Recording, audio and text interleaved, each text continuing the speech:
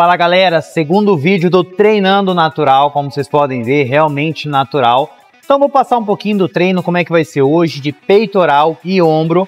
Já vai deixando o seu like aí e vamos nessa!